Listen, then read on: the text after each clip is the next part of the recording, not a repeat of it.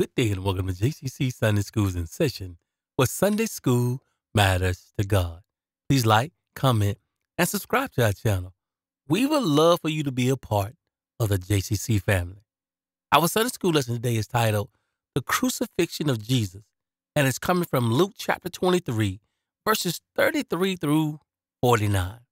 Now, the significance of Christ's crucifixion cannot be overstated even this day. Yes, Jesus was the Son of God who died on the cross for all of our sins. This week's lesson is an opportunity for us to look at this here and ponder and understand why God did what God did. Let's get into the lesson and see what it has to offer us today. We're going to begin reading verses 33 through 38. And when they were come to the place, which is called Calvary, they will crucify him. There they crucified him, and the malefactors, one on the right hand and the other on the left. Then says Jesus, Father, forgive them, for they know not what they do. And they parted his raiment and cast lots. And the people stood beholding, and the rulers also with them derided him, saying, He saved others, let him save himself. If he be Christ, the chosen of God. And the soldiers also mocked him, coming to him and offering him vinegar, and saying, If thou be the king of the Jews, save yourself. And the superscription also was written over him in letters of Greek and in Latin and Hebrew This is the king of the Jews. Now, Calvary is the name of the place where Jesus Christ was crucified. And Calvary, that name means the skull. And this is thought to refer to the shape or the appearance of the heel in which Jesus Christ was crucified. But Calvary itself represents death and sin. It's a place where the judgment happens both in the natural and now in Jesus Christ's case, the supernatural. So Calvary was a place where divine love met sinful man. Were it not for the place and the death of the cross of Calvary, we all would be hopelessly lost and helpless to get to God and get to heaven.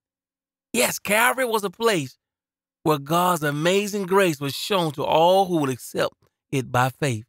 The finished work of Jesus Christ was done right there on Calvary. Calvary is the place where sin's price was paid in full. You were bought with a price that very price that Jesus Christ paid for all of us to have a right back to the tree of God. Yes, Calvary is the place where Satan was defeated. God promised Satan in Genesis 3 and 15 that her seed, her offspring, would bruise his head. And it was on Calvary at that place where Jesus Christ bruised the head of Satan. And finally, we are shown that Calvary is the place where man's destiny is determined. Let me say that again. It's because of Calvary that we now know our destiny can be determined as we look to be with God. To God be the glory. Yes, it's Calvary that we see that God used the most terrible place to die, the most cruel and inhumane way to die, God used it to judge the sins of the world. But our text says that also there were two criminals placed between them. He died for them just as much as he died for us.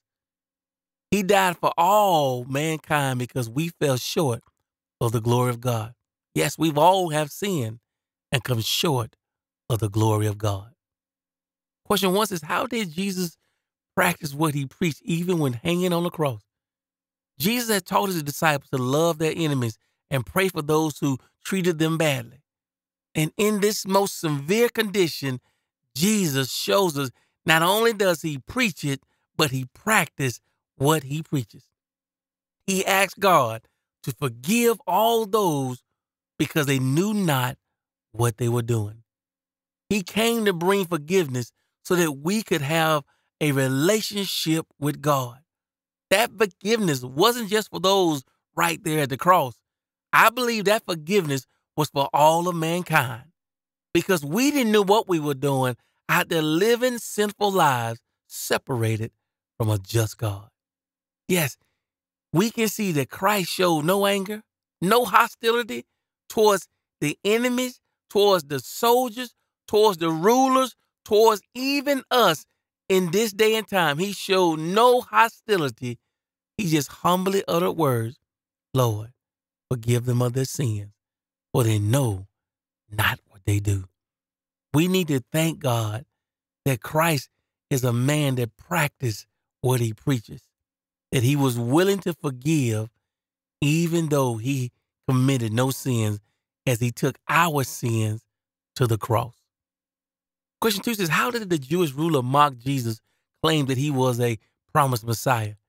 They were mocking uh, him uh, by saying that if you are the Messiah, save yourself. Come down from the cross if you're the Messiah. The Bible says to us that men love the darkness rather than the light, for the deeds were evil. And brothers and sisters, this here mockery was evil. It was a dark moment. It was darkness here being personified as they go in and begin to make these here accusations of Jesus Christ. See, this mocking was meant to tear him down, not to build him up. The religious system back then was trying to tear him down. But today we need to take the righteousness of God and learn to reach down and build people up. We need to extend a helping hand, but no hand was extended by this, these leaders back then. We need to change the course and extend a hand to help a man when he's down. They chose to mock Jesus. Question three says, How did the soldiers' action show a disregard for Christ? The soldiers had already demonstrated their disregard for Christ by casting lots for his clothes. They had heard the Jewish leaders mock Christ, so they began to join in as well. They ridiculed and scoffed him. They began to talk down on him as well. And this is the sad part, is they first saw it his own people mock him. And as a result, they begin to join in with the crowd as well. See, the lesson is that many people ridicule because the church ridicules. The church doesn't stand for the things it needs to stand for. So they, as we are silent, people begin to mock as well. And sometimes mockery comes from our own walls as well. The people of God must always be the example and not part of the problem. We're to never follow the crowd because wide is the road that leads to destruction, but narrow is the road that leads to heaven. We need to be on the road that leads to heaven and demonstrate to others the right things to do. Question four says, How did Pilate speak more truthfully than he intended about Jesus? Pilate used and made a, subscription and put it on a plaque that was hung before Jesus. It was in three different languages, but in each of those languages, it said Jesus was the King of the Jews.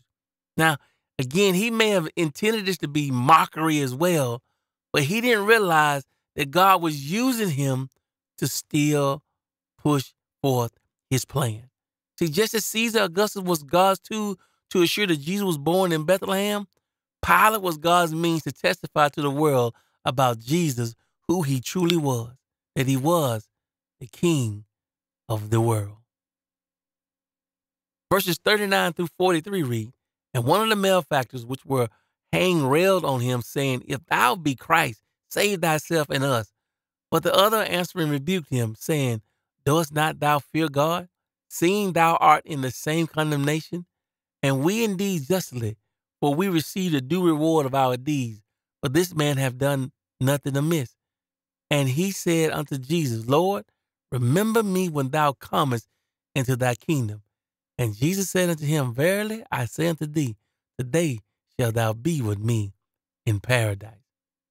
Now, question five says, What people ridiculed Jesus at the cross? Again, we know the rulers uh, were, were part of the market. We know the soldiers did it. But even the man on the cross ridiculed Jesus as well. That he began to pick at and and talk and and and, and tell Jesus, if you're gonna save yourself, save yourself and us too. But he didn't seek salvation. He went along with the crowd. Brothers and sisters, it's never good to follow the crowd. Those who live apart from God choose to die apart from Him as well. So we see that he did not fear God. He didn't care. He was worried about himself. He was looking out only for himself. Said, if you're gonna save yourself, save you and me as well. But question six is how did Jesus extend grace to the second criminal? Jesus told him that he would be with him in paradise. Why? Because the second criminal rebuked the first one and asked, Don't you fear God? He says, We deserve what we're getting. We deserve the reward due our deeds, but this man done nothing. But notice what he does next.